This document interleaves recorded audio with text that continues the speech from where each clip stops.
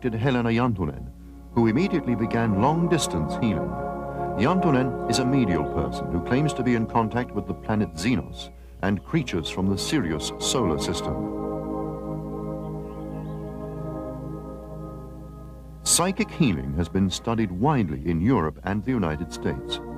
In laboratory tests at the University of New York, the process was used to speed up the growth of plants and to improve patients' hemoglobin values. Some doctors have in fact tried psychic healing themselves.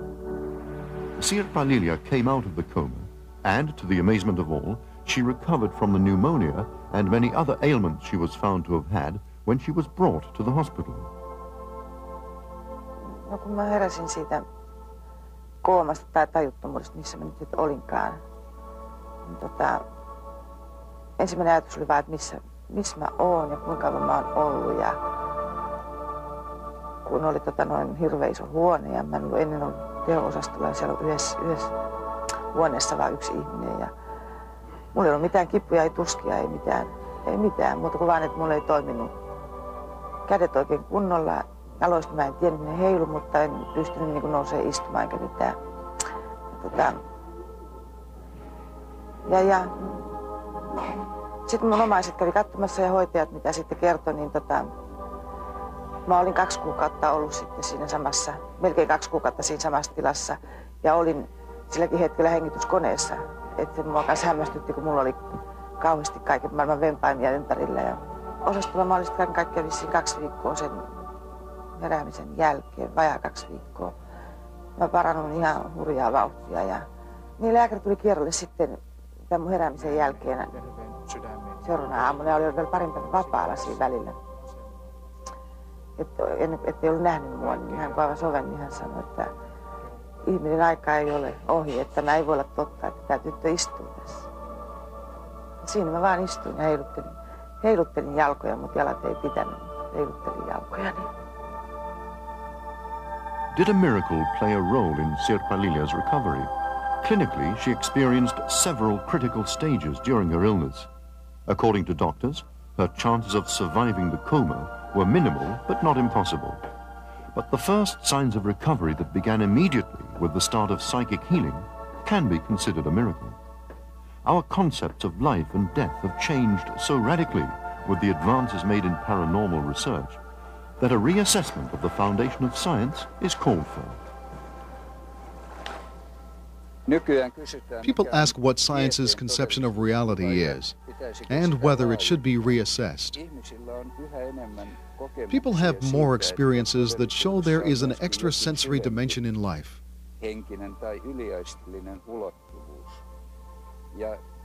It seems that if science doesn't widen its scope and holds on to the materialistic view, it will be in the rear guard. When people's view of the world is changing, science ought to be a forerunner in studying all new experiences and phenomena with no preconceived notions. Now, people feel science is in the rear guard. Thus, science will lose its authority as it gives no answers or critically explain people's experiences. The world might seem rather bizarre, which is why the meaning of life is a burning question. I think we all have to look for the answer to that, as it also changes during the course of life.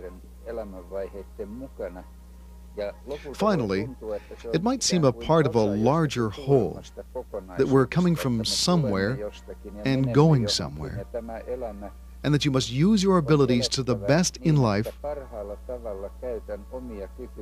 to help other people.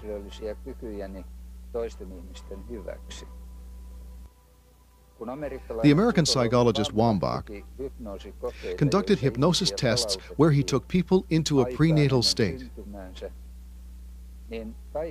They all sensed a high meaning of life.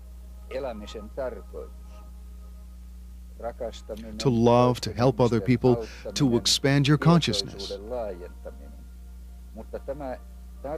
The meaning dwelling in every individual, the precious meaning of life in every human being, is often forgotten in the course of life.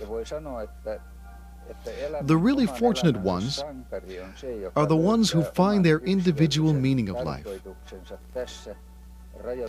in this finite life and boldly make it real. This often clashes with society's expectations. But I do feel we must keep looking for it all our lives. Throughout history, mankind has looked to great thinkers and researchers for the answer to the mystery of life. So far, science has only been interested in how the world is constructed and how it functions. Over the centuries, science established the concept that the world is a huge clockwork machine. Moreover, the Western concept of reality has been marked by a sharp antithesis of philosophical thinking. There are two completely different worlds. There is the world of matter that natural science studies, and the spiritual world that natural science can't reach. This Cartesian dualism has always prevailed in Western scientific thinking. It still does. The situation is now changing. The problem is the relationship between these two worlds.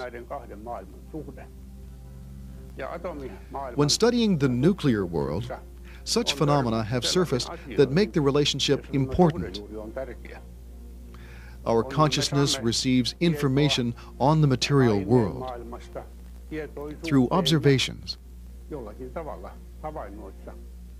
Thus, the spiritual world, which includes the consciousness, can't exist independent of the material world. They interact.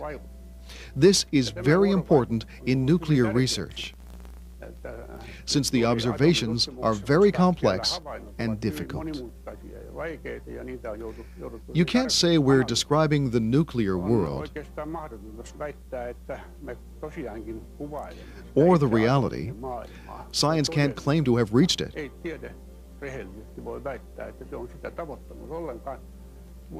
But we have disclosed information on it since we do control nuclear phenomena. From a realistic point of view, the situation is new, as we can't speak of reality itself. We can't reach it, but we do get information on it. I think this is natural. Thus, I find supernatural people quite natural. Miracles are part of the deal. Our existence is a miracle. We live in a miracle.